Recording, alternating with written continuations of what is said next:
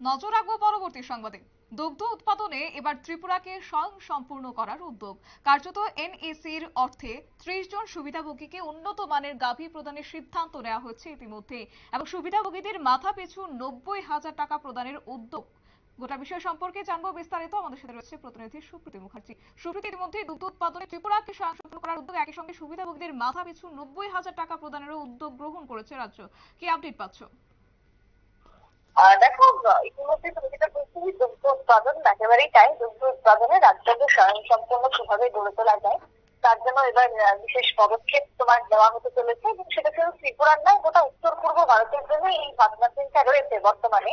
দুগ্ধ উৎপাদনের জন্য যাতে করে ত্রিপুরাকে অন্তত পক্ষে অনেকটাই, বা উত্তর পূর্বকে যাতে বাইরের রাজ্য বা বহিরাজ্যের দিকে কোথাও গিয়ে মুখাপেক্ষী না থাকতে হয়।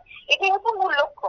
এবং সেই জায়গায় অধিক যদি দুগ্ধ উৎপাদন করতে হয়, তাহলে বেসিক পয়েন্ট কি না কি প্রথম করতে হবে সেটা হচ্ছে গাভী। গাভীতে ইনভেস্ট করতে হবে, অধিক পরিমাণে গাভী সেটা কিনতে হবে।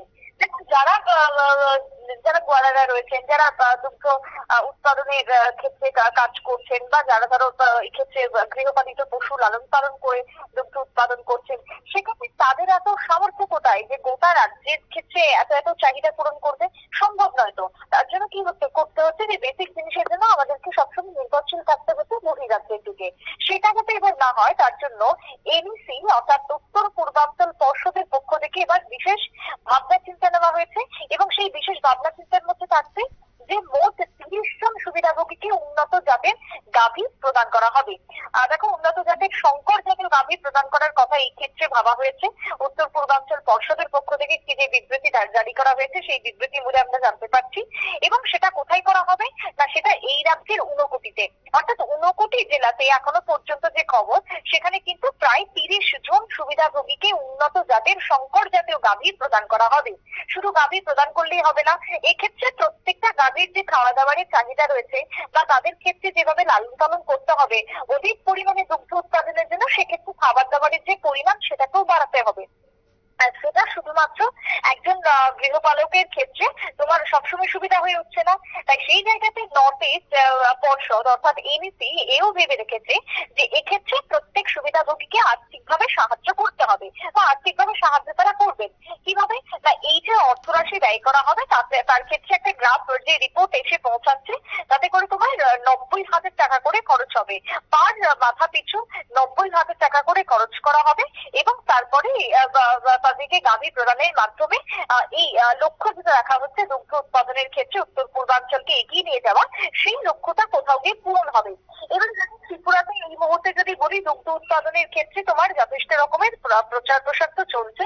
আমরা দেখেছি যে প্রাণী সম্পদ বিকাশ দপ্তরের পক্ষ থেকে নানান রকমের পদক্ষেপ নেওয়া হয়, পশু পাখিদের সুবিধার জন্য ভাবা হয়, এমনকি শুধু দুগ্ধ নয়, তোমার মাছ, মাংস, ডিমের জন্য যে চাহিদাটা রয়েছে, সেই চাহিদা মেটানোরও একটা পদক্ষেপ নেওয়া হচ্ছে। এবং তার জন্য যে তোমার ফার্মগুলো রয়েছে সেগুলিকে আরও অধিক পরিমাণে বাড়ানো হচ্ছে? সেখানে লোক নিয়োগ থেকে শুরু করে সরকারি ভাবে যাবতীয় যা যা করার প্রয়োজন সম্ভাবনা রয়েছে, সবটাই চলছে। কিন্তু তারপরও তারপরও কি এই চাহিদা মিটছে? মিটছে না। তাই সেই জায়গাতে দাঁড়িয়ে এবার তোমার বহিরাজ্যের উপরেই নির্ভরশীল না যাতে থাকতে হয়, তার জন্য নর্থ ইস্টের পক্ষ থেকে যে পর্ষদ রয়েছে নর্থ ইস্ট কাউন্সিল পর্ষদের এবার বিশেষ বৈঠক হলো এবং গতকালকে সেই বৈঠকের পর আজকে আমরা সকাল থেকে যে খবর পেয়েছি, দুগ্ধ উৎপাদনের ক্ষেত্রে রাজ্যকে এবার এগিয়ে নিয়ে যেতে হবে। দুধ ডিমের চাহিদা তো সর্বোচ্চই রয়েছে, শুধু ত্রিপুরা বলে নয়। তবে হ্যাঁ ত্রিপুরাতে দুধের চাহিদা যাতে আগামী দিনে মেটানো সম্ভব হয়, অন্যান্য রাজ্যের ক্ষেত্রে আমরা দেখেছি যে বিভিন্ন ক্ষেত্রে খাতাল থাকে। যেখানে সারিবদ্ধ ভাবে গরু, মোষ রাখা হয়, সেখানে নির্দিষ্ট পরিমাণে তাদেরকে লালন পালন করা হয়। তার জন্য পর্যাপ্ত খাবার রয়েছে। এখানে কিন্তু সেটারও একটা সমস্যা রয়েছে। বিশেষ করে পাহাড়ি এলাকাতে গরু, মোষের জন্য যে খাবার, ঘাস, কচি কচি ঘাসেরও কিন্তু কোথাও গিয়ে একটা অভাব তৈরি হয়। তাই সেই জায়গাতে তাদের খাবারের জন্য একটা কোথাও গিয়ে পয়সা খরচ করতে হবে। তাই সেই পয়সাটাকে এবার ধার্য করা হচ্ছে নব্বই হাজার টাকা। মাথা পিছু নব্বই হাজার টাকা করে যদি দেওয়া হয় বা সেই জায়গাতে যে তিরিশ জনের কথা ভাবা হচ্ছে অন্তত পক্ষে তিরিশ জনকে যদি গাভী দেওয়া হয় এবং তার সাথে যদি টাকা দেওয়া হয় তাহলে সেই অর্থে কোথাও গিয়ে একটা লাভবান হওয়ার সম্ভাবনা রয়েছে এবং লক্ষ্য পূরণ হওয়ার সম্ভাবনা রয়েছে। তাই আহ, এই ক্ষেত্রে উত্তর পূর্বের পক্ষ থেকে যে বিশেষ বৈঠক নর্থ ইস্ট তোমার পর্ষদের সেই বৈঠক অনেকটাই ফলপ্রসূ হয়েছে।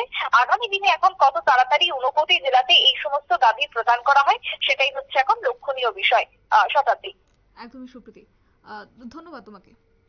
বিস্তারিত তুলে ধরলো আমাদের প্রতিনিধি সুপ্রীতি মুখার্জি। তবে ইতিমধ্যেই দুগ্ধ উৎপাদনকে ত্রিপুরাকে স্বয়ং সম্পূর্ণ করতে অন্যদিকে দুগ্ধ উৎপাদন বৃদ্ধি করে কার্যত কর্মসংস্থানের পরিকল্পনা করছে ত্রিপুরা সরকার। পাশাপাশি এই ক্ষেত্রে এনএস, এনইসি এর অর্থে ত্রিশ জন সুবিধাভোগীকে উন্নত মানের গাভী প্রদানেরও সিদ্ধান্ত নেওয়া হয়েছে। সুবিধাভোগীদের মাথা পিছু নব্বই হাজার টাকা প্রদানের উদ্যোগ নিয়েছে রাজ্য সরকার। সংবাদ আপাতত এই পর্যন্তই। পরবর্তী আপডেটের জন্য চোখ রাখুন শুধুমাত্র নিউজ ভ্যানগার্ডের পর্দায়। নমস্কার।